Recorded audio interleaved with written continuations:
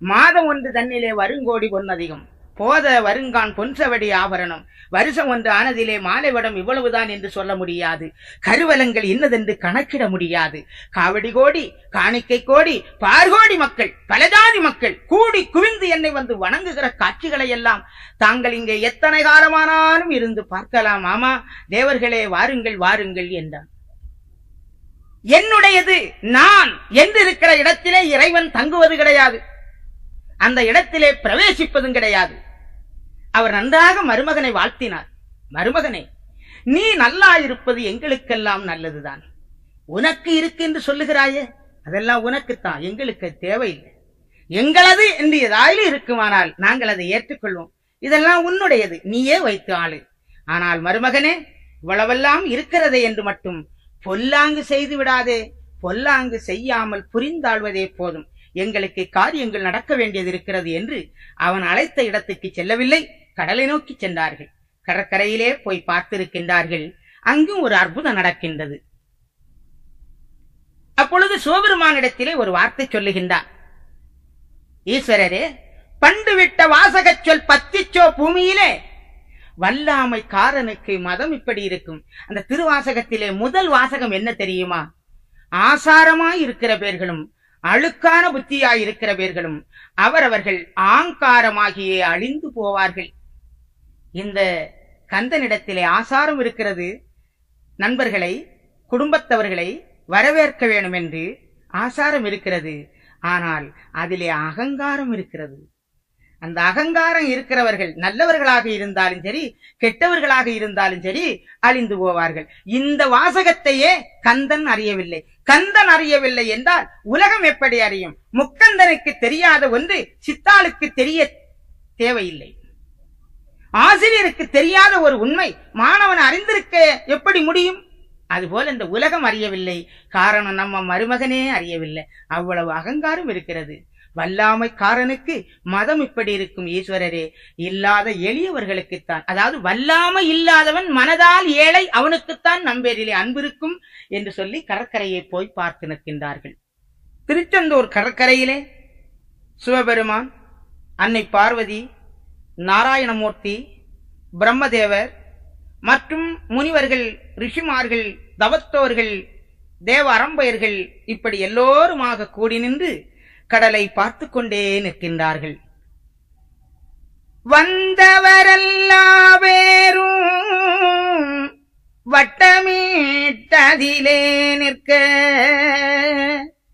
சந்தன வாரி ஓரம் தன்னிலே நின்றிரண்டு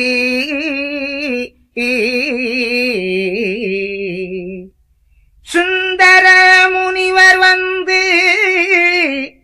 சுவாமிதன் பதமே பூண்டு. எந்த நின்பிரானே என்று இருவரும் வணங்கி சொல்வார். ஆ.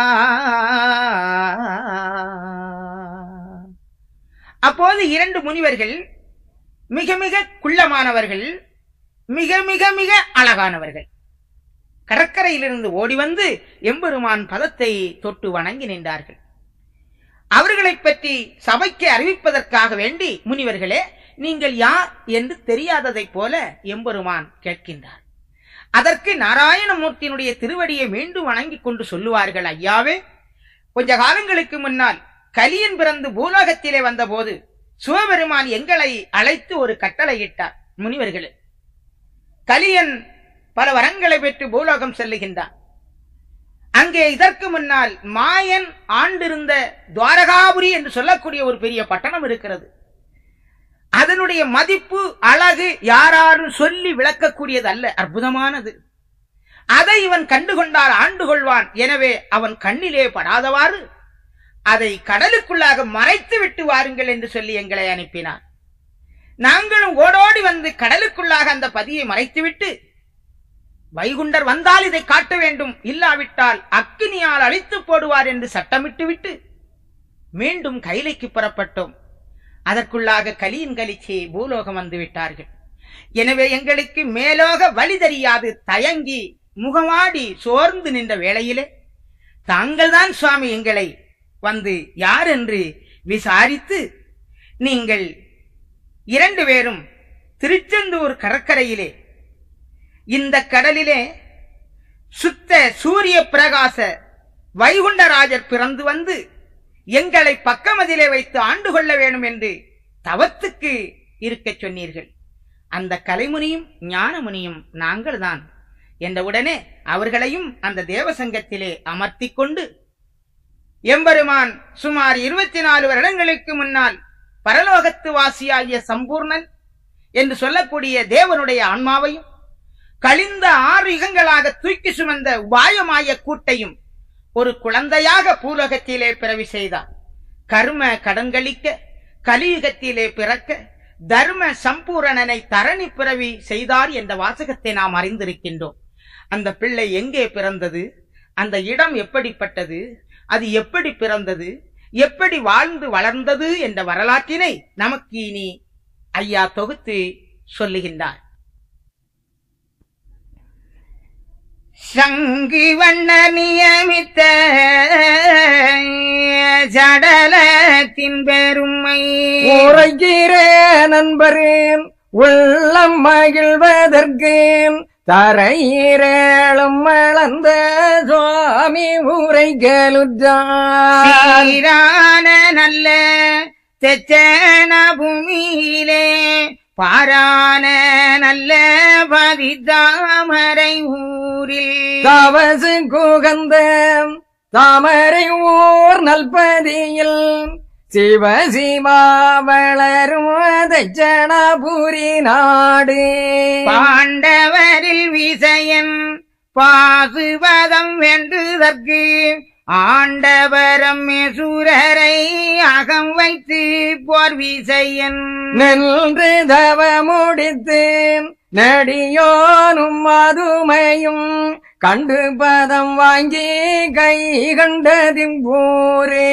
அரியரசன் முன்னால் அரிய தவமிருந்து பதியரசியான பார்வதி என்றதுதான். இவ்வூரு தஜனந்தான் ஏதமரை ஊரேன். செவ்வூரு நல்ல சிறந்த மணவை பதிதான்.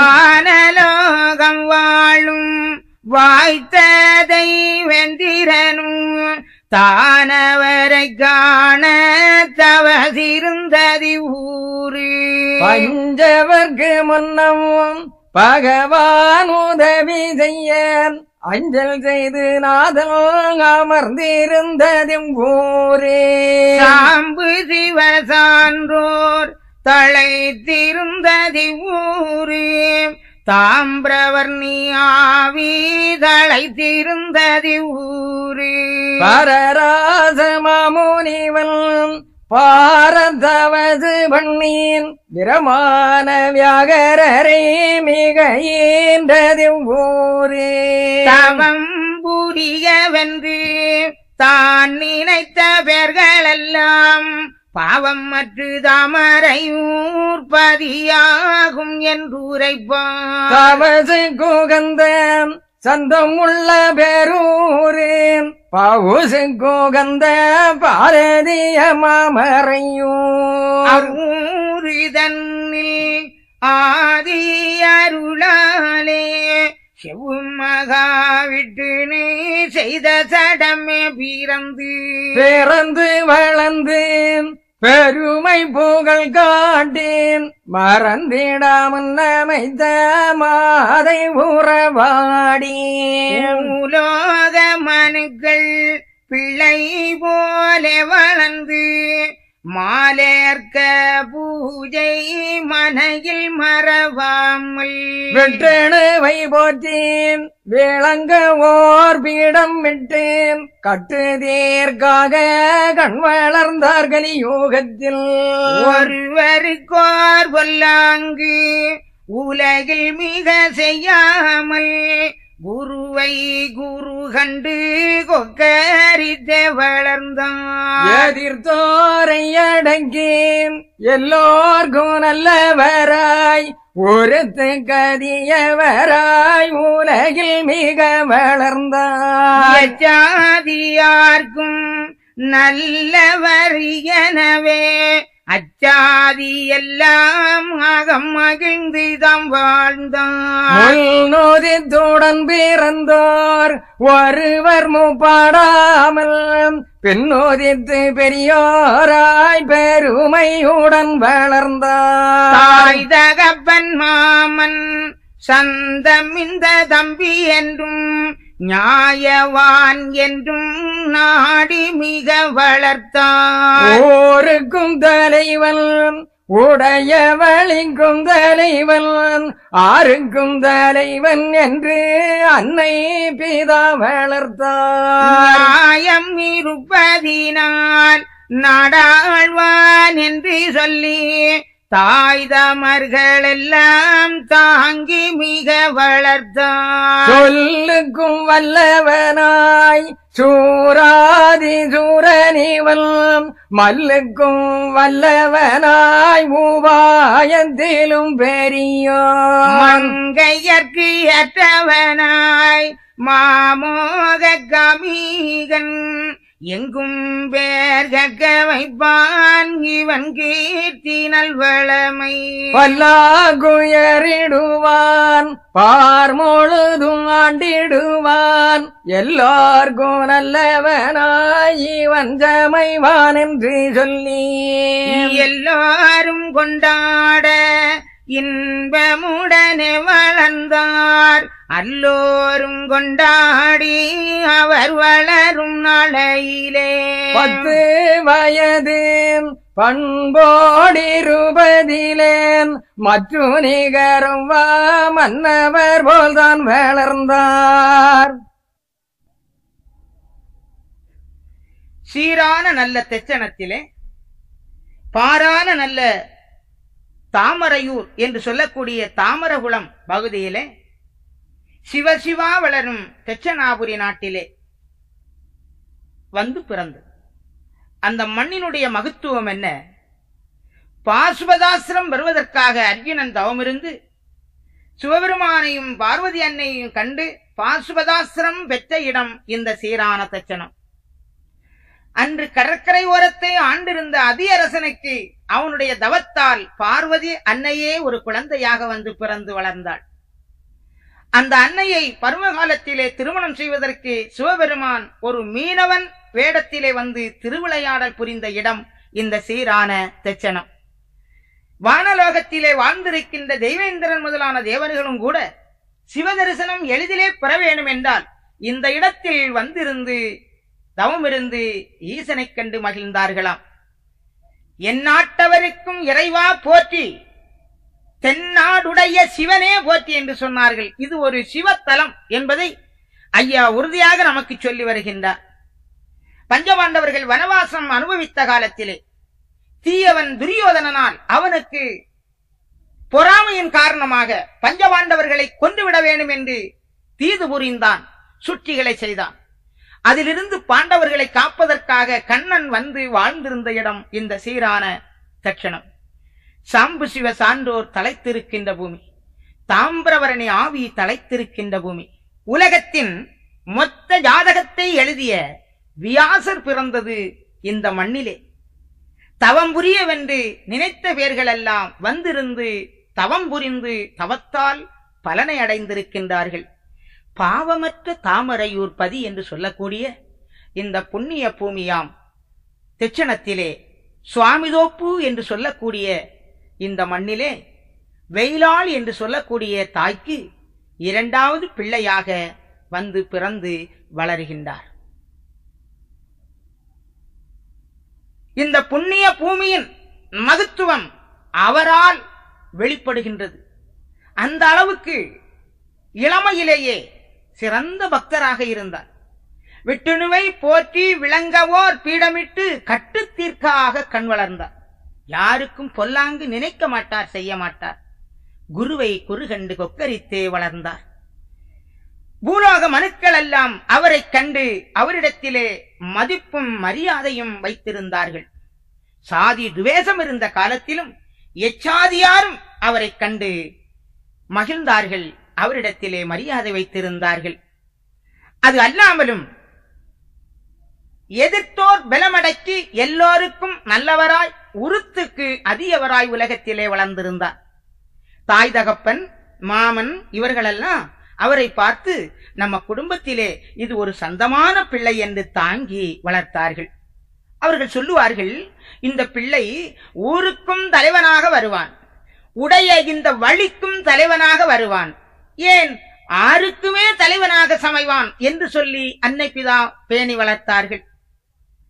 மல்லுக்கும் வல்லவன் உபாயத்திலும் பெரியவன் மங்கையருக்கு ஏற்றவன் எங்கும் பேர் கேட்க வைப்பான். இவன் கீர்த்தி நல்வளமை உலகம் உள்ளளவும் நிலைக்கும் என்று சொல்லி வளர்த்தார்கள். நியாயம் இருப்பதினால் நாடாளுவான் என்றும் பார் முழுதும் ஆளுவான் பல்லாக்கு ஏறிடுவான் என்றும் எல்லோரும் சொன்னார்கள். இப்படியாக அவர் ஆய்ந்தறிந்து சொல்வதிலே தர்மனைப் போல ஈந்து இறங்கி இருப்பதிலே கர்ணனைப் போல வாழ்ந்திருந்தார். எல்லா தொழிலும் விதம் விதமாய் கற்றும் மிக. பொல்லாதாரோடு பெரும்பகை போல சீறி நல்லாரை உள்ளில் மறவாமல் கல்லாரை எல்லாம் கண்டு கணித்திருந்தார். இவதற்கும் தர்மன் என எளியோரை கண் பார்த்து ஆய்வதற்கும் நல்லான் என்றே மிக வளர்த்தார். பதினேழு வயதில் பண்டமைத்த பெண்ணோடு விதியானபடியால் மெல்லியர் மலிச்சை கொண்டு கூடி குணமாய் கொண்டவனையும் அகற்றி தேடி இவரோடு செய்ய ரசமாயிருந்தார் வானுபரமெசுரனார் மாயவனார் அணையிட்டு நானும் நீயுமாக நலமாக வாழ்வோம் என்று ஆணையிட்டு மகிழ்ந்து அன்று முதல். நாணம் அது இல்லாமல் நாயகம் போலே வளர்ந்தார். மங்கை காணாமல் மறு ஊரு தங்கறியா அங்கவளை காணாமல் அயல் ஊரு தங்கறியார். படியாய் இவர் வளரும். நாளையிலே எந்த நருள் கண்டு இவர்க்கு இவளை அமைத்ததென்பார். நாளமைத்த ஊழி விதியனவே. சொன்னாரவரும் சுவாமி அருளாலே. அன்றை கமைத்தது போய் அவளை அவர் கல்லாது. அன்னத்த தோஷம் அகல மற்றோன் பெறதுதான். அருள் எல்லாம் இயம்பி மிக உரைத்தான் மந்திரேளும் அறிய மங்கையோடு வாழ்கையிலே. உற்ற வயது இருபத்திரண்டதிலே சத்ராதி ஒரீசல் தானே பிழையேக்க ஏற்கவே நீசன் கிடறு செய்தயதுவினார். ஆர்க்கம் மடங்கி அமர்ந்து பிணியனவே எல்லாரும் அறிய இவர் இருந்தாரம் மானை வெல்லாரும் வெல்லா விசையடங்கிதான் இருந்தார். பலங்கள் என்று நொந்து மிக உழன்று. தம்பீலங்கள் அடங்கி தருணம் புலம்பலுற்றார். கருவுற்ற தோஷம் கழிந்து சிவஞான.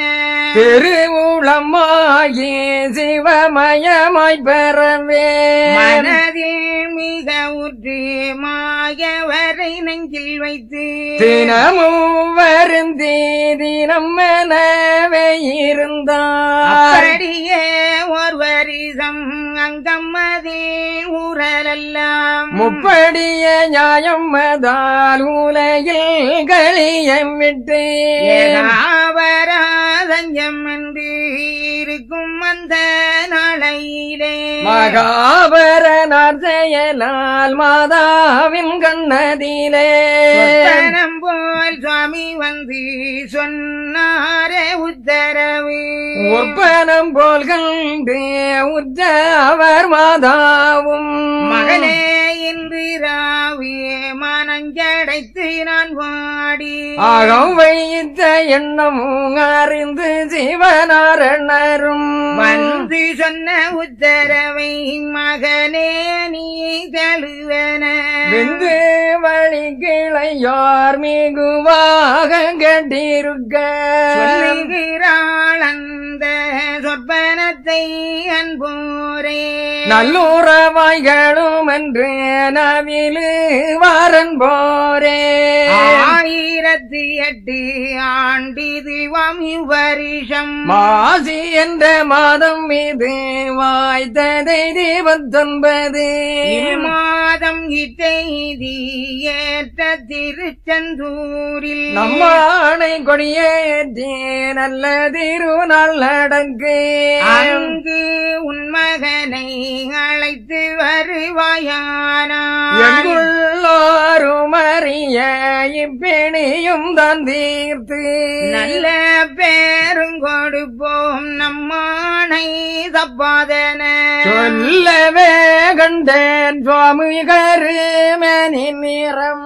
நான் கண்ட சொற்பனந்தான் அழிவு மிக போகாது தேன் கண்ட போனே சிரித்து மனம் மகிழ்ந்து. இந்த கனவதற்கு இங்கிருந்து அங்கே போ வந்தல்லாத பிணியும் மறவகை இல்லை எல்லோ என்றுரைக்க எல்லோரும் இன்பமுடனே மகிழ்ந்து. நன்று நன்று போவதற்கு நடை கோப்பு கூட்டும் என்றார். முன்னமையே பரலோக வாழ்விலேயே அவர் ஆசைப்பட்ட வாழ்வு இந்த பூலோகத்திலே தொடர்கிறது. கருவால் உருவை கைக்குள் வசமாக்கி இருவர் ஒருவரென வாழுகிறார்கள். செய்யரசமான வாழ்வு என்றும் நாணமது இல்லாமல் நாயகம் போல் வாழ்ந்தார் என்றும் ஐயா தெளிவாக சொல்லுகின்றார். அப்படி பதினேழு வயதிலே ஆரம்பமான வாழ்வு இருபத்தி ரெண்டு வயது வரையிலும் உலகத்துக்கு ஒரு எடுத்துக்காட்டாக அமைகின்றது. அப்படி வாழ்ந்திருக்கின்ற போது சத்ராதிகள் எதிரிகள் பொறாமை குணம் கொண்டவர்கள் இந்த குலத்தில் இந்த இனத்தில் இப்படி ஒருவனா என்ற பொறாமையிலேயே அவரை கொல்லுவதற்கு திட்டமிட்டார்கள். செய்வினைகளை பழிவினைகளை செய்தார்கள். அந்த வினையானது ஒரு வருடம் இவரை பற்றுகிறது. அவர் தீனத்திலே இருக்கின்றார். கருவுற்ற தோஷம் கழிந்து சிவஞான திருவுளவாசம் சிவமயமாய் பெறுகின்ற அந்த நல்ல நேரத்தை எதிர்நோக்கி இருக்கின்றார். அப்பொழுது அவருக்கு வயது இருபத்தி நான்கு பெற்ற தாய் வெயிலாள் ஒரு நாள் தூக்கம் வைத்திருக்கின்ற போது அவளுடைய கனவிலே நாராயணமூர்த்தி மகாவிஷ்ணுவின் வடிவத்திலே வந்து சொல்லுகின்றார். அம்மா உன்னுடைய மகன் நோய்பட்டிருக்கிறான் என்று நீ கவலையோடு இருக்கின்றாய். உன்னுடைய கவலையை நான் தீர்த்து தருகிறேன். ஆயிரத்தி எட்டு ஆண்டிது நாள் இவ்வருடம் மாசி என்ற மாதம் இது வாய்த்ததை தீபத்தொன்பது இம்மாதம் இத்தெய்தி ஏற்ற திருச்செந்தூரில் நம்மானை கொடியேற்றி நல்ல திருநாள் நடக்கு. அங்கு உன் மகனை அழைத்து வருவாயானால் எங்குள்ளோரும் அறிய இப்பேணியும் தீர்த்து நல்ல பேருங்கொடுப்போம் நம்மானை தப்பாதன்றா? வேண்டும் பலகாரம் விதம் விதமாய் சேகரித்து ஆண்ட கருப்பு கட்டி ஆனதெல்லாம் ஜகரீது. தான தர்மம் செய்ய தானங்கள் மிக எடுத்து தீனமானவரே திடமாக கூட்டி வந்து ஆளை சகரித்து அகல நல்ல தொட்டில் வைத்து நாளை கடத்தாமல் நடக்க வழி கொண்டனராம் மாதாவும் மகனும் வாய்ந்த நருளுடனே நீதாமின் பாதாரம் நெஞ்சில் மிக நேருத்தீ. இருந்த பதியும் விட்டு ஏற்ற ஒரு காதம் விட்டு வருந்த நருளோடே வழி கொண்டாரன் போடே கூடங்குளமும் விட்டு குழந்த சுக்கு பாரும் விட்டு தோட்டவழி ஆறு கண்டு சூறமணி காடும் விட்டு. நடந்தொரு வனத்தில் நல்ல தண்ணீர் கண்டு கொடந்த பலகாரம் கொண்டு தண்ணீர் தான் கூடிது தகையாரி கொண்டு தானிருக்கும் வேளையிலே வகையான நல்ல வாய்த்த மகவிட்டேனும் பிறவிக்கு ஏற்ற பிள்ளை வருகுதன்று திறவி முதலோன் தெளிந்து மிக கொண்டாடி. எதிராள் விட்டு எங்களைக்க வேணுமென்று அருகேதான் இந்த ஆதிமுனியான நல்ல முனிவரையும் நாராயணர் அழைத்து வாருங்கோ பிள்ளாய் வாய்த்த முனிமாரே. நேருங்களோடு நிகழ்த்துகிறேன் ஓர் வசனம். நானே மித்த நல்ல உயிரிங்கேதான் தானே வருகுதுகான் எந்தவத்தாலே எதிரே போய் நீங்கள் இங்கழைத்து வரும் என்றாரு. பதியேறும் பெருமாள் பகர்ந்து முனியார் அயச்ச முனிமார் அவ்வாயு போல் விரைவாய் பயவற்ற முடனே பகர்ந்த இரு மாமுனியும். எந்த வழியாய் இவர்கள் வருவார் எனவே அந்தந்த வழிக்கும் ஆலோட்டம் பார்த்து வந்தார். வந்து ஒரு வழியில் வரவே கண்டு மாமுனிவர் சந்துட்டியாகி தாழ்ந்து நமஸ்காரம் மீட்டு. கண்டு குவித்து கனகமுனிமார்கள் வன்று சுத்தும் மார்பனுடன் வாய்த்தகரம் ரெண்டதையும். நீருவே தொழதிலே உயர்த்தி மிக வேந்தி துணிவுடனே மாமுனிவர் தோளின் மேலே இருத்தி பதியில் இருந்த போல் பார்மன்னனை இருந்தேன். குதிரை நடை கொண்டா போல் கொண்டாடி மாமூனி வரேன் கூட நடப்போர் குதித்தோடி தான் வரவே. வாடி மனுநருள்கள் தாமோட. நல்ல பிறவியைத்தான் நல் முனிவர் கொண்டாடி வல்ல ஜந்தூர் பதியில் வந்தார் காணன் போரே.